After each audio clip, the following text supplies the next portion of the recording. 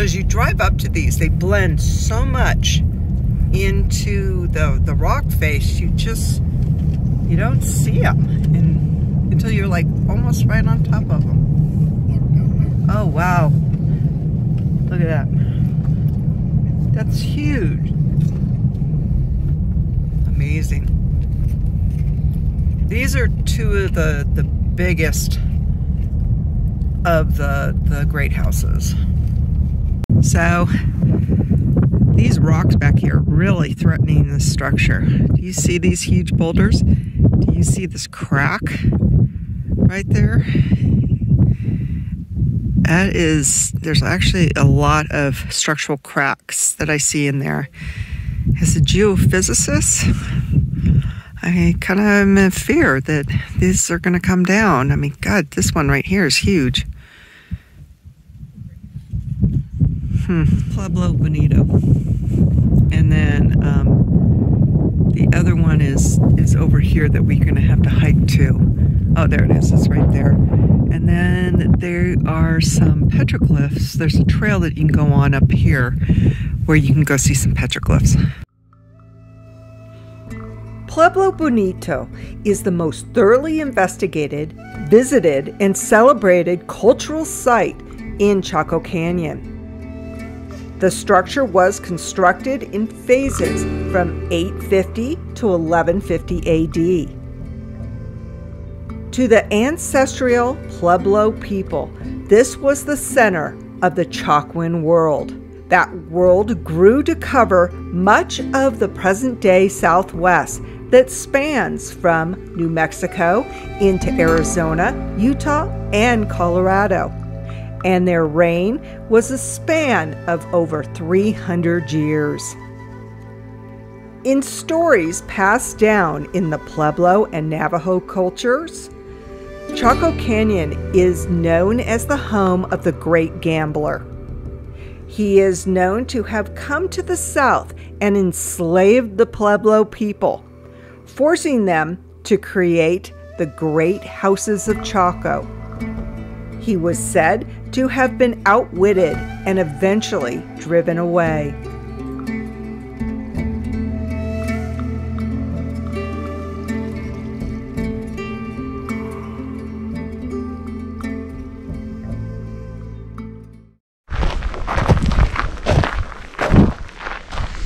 Yeah, that rock face is coming down. I can just see the structural see like in the front, there's like three major parts that are uh, going to come down. Yeah, see that. Hopefully it doesn't hit it. Well, with the amount of rain they get out of here, get out here, and the freezing and thawing, that's gonna that's gonna make it come down. It's gonna heave off, basically.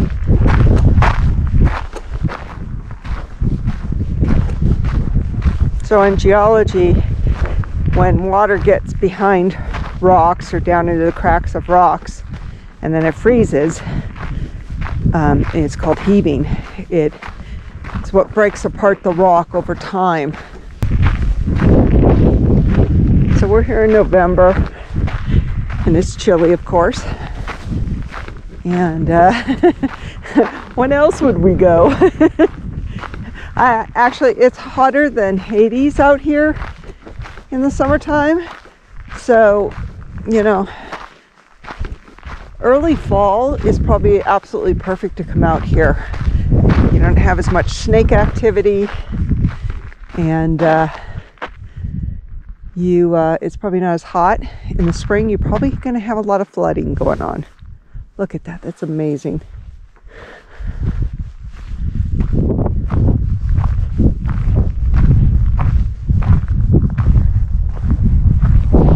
How straight the walls are. I mean, this must have taken the longest time to build because, like I said, it's like a, a, a mosaic.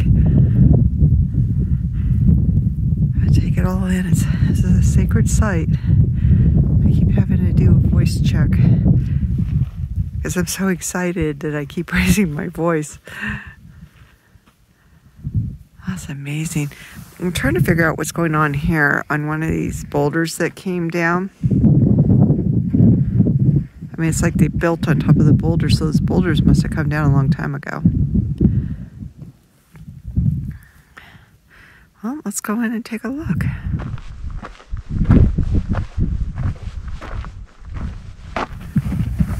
You know, I know there's no official link, but I would swear that these guys were the Native American chapter of the Masons. They definitely were talented. I just, I mean, I just can't get over, like, there's small little pieces. Just, and then there's mortar. It just kind of amazes me. So they have these bigger bricks. It's basically stone. And then these little ones in between. It's just, it's just kind of a, it's, it's a No, that's sandstone. That's not shale. Sandstone. Yeah. It's just amazing. And then these, they're so straight. It's amazing are the windows that they could hold up all the, the, you know, how it was engineered to hold up all that weight above it. Wow. Basically, we're doing headers. Yeah, they had headers on them.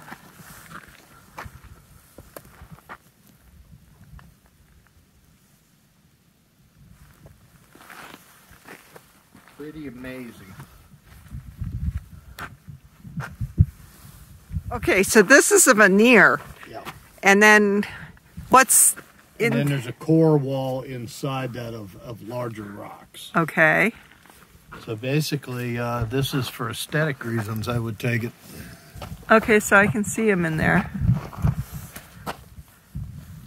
Just like fake rock fireplace at your house. Uh-huh. Well, these aren't really fake rock. Well, the veneer's not as thin as you think it is. I mean, this rock goes all the way in. isn't Yeah, it goes in there. Foot maybe. Yeah. Like two and a half foot wall, three foot wall.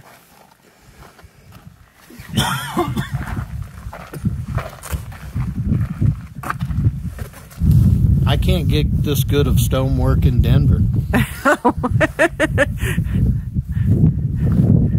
real craftsmanship in the world. Yeah, definitely. You go, you start this way to follow the book, and then the book that I purchased for 250 Yeah, it's going to be a It's got these like numbers right here. And then it takes you up and around. How big these boulders are. See the person standing up there? Yeah, these are huge. It so this boulder looks like it took out some structure back here. Claimed it. Yeah. Yeah. Good thing there was nobody sleeping in there. Well, it either took out some of the old structure or this was structure. The wall or the, it, this was made by modern man the path. for the path. Yeah, these are huge. Shit. these boulders. Look at the size of this boulder. It's huge. Yep. Look at the clouds coming over. Oh yeah. Cool, do a time lapse right there. Yeah. So we're on the back side of Pueblo Bonito.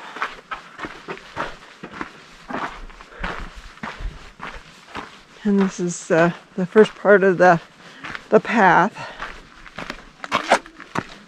So they have this like little stoop you can go up on.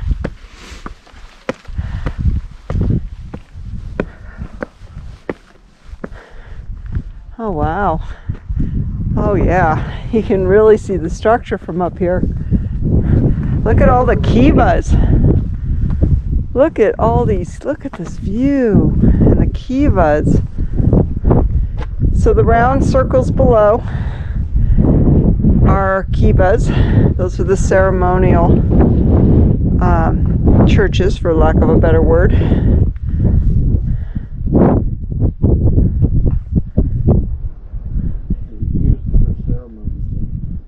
Yes, they were used for ceremony. So, it took about 300 years to build this place. A lot of rocks. design and construction of the buildings. Buildings ceased late in the 1100s. The pottery shrouds date Let's descend down into the plaza.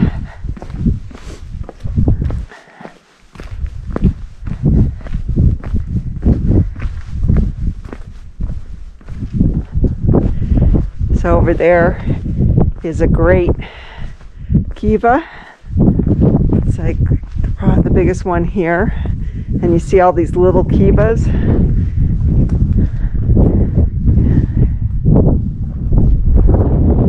Wow, the rocks just it's just taking the back of this. I mean these boulders are like right up against here.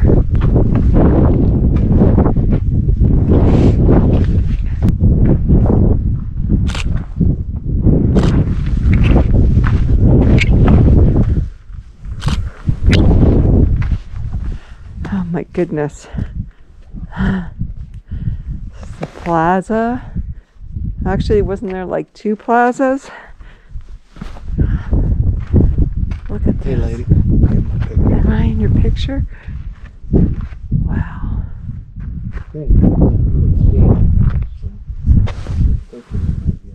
I always like to have people in my pictures and film to kind of show how big something is. Know?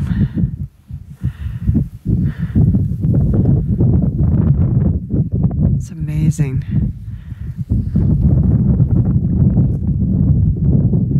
What I wasn't expecting was that grave. We're actually not going to walk out there. It's about um, a quarter of a mile out. It's the Great Plaza. I'm standing in front of one of the kivas. There's a kiva here, kiva there, kiva here.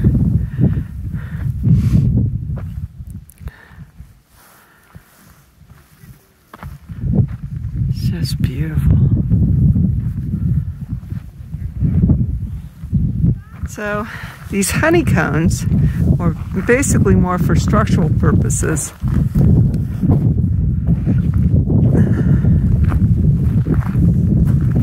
Are we able to go through here?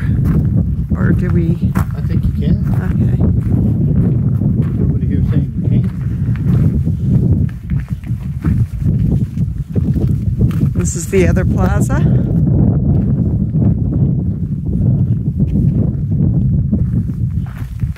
So go this way.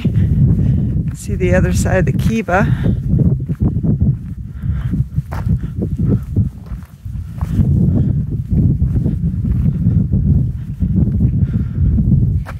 Is it just me, or do these remind you of Stargate? you know, sarcophagus they used to get in to rejuvenate themselves. Doesn't it look like them? Is it just me? Okay. So this is a good example of the veneer. So here's your veneer right here with the smaller rocks, and then um, you have your larger stones in the middle here. So you can really see how they built that. I mean, how ingenious is that? Yeah, I excavated this. That those stones were put in in the twenties, and that's just a step. Yeah. Yeah, but it's a weird looking door. But I, I swear that they said that they were they that they found that they had blocked off windows and doors in certain places.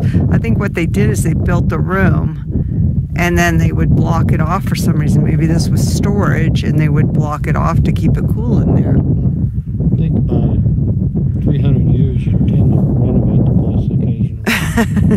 yeah, that's true. I mean, look at there, just like right there, that window right there. You know.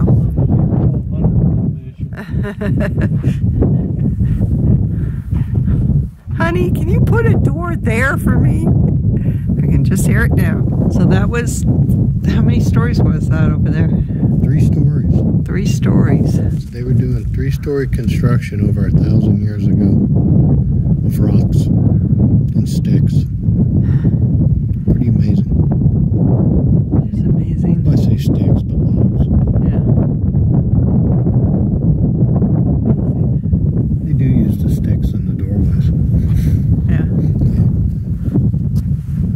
So yeah, these these guys were like the first victims of global warming In America. of their time. Weather change. You know? Been changing since the dinosaurs, baby. But in their time, the weather changed, and um, they had to move from this area because of it. They couldn't survive. Drought. Oh wow, you can really see all the honeycombs right here.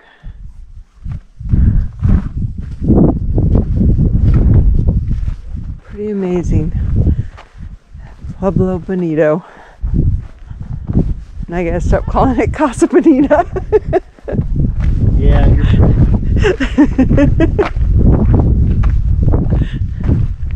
So all there's also ones that are up on these bridges that you but you can only hike to them. Um,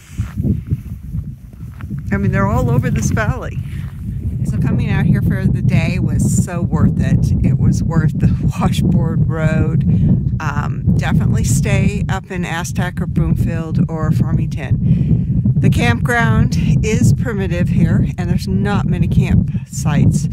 Um, but if you're going to come out here and do some night photography, which I'm dying to do, um, you can, you know, go to, I would advise you staying on the campsite. Um, but God, it must be just the Milky Way at night must just be fantastic. The sky is so blue and so clean here. Um, but definitely make a trek out here. It is so worth it.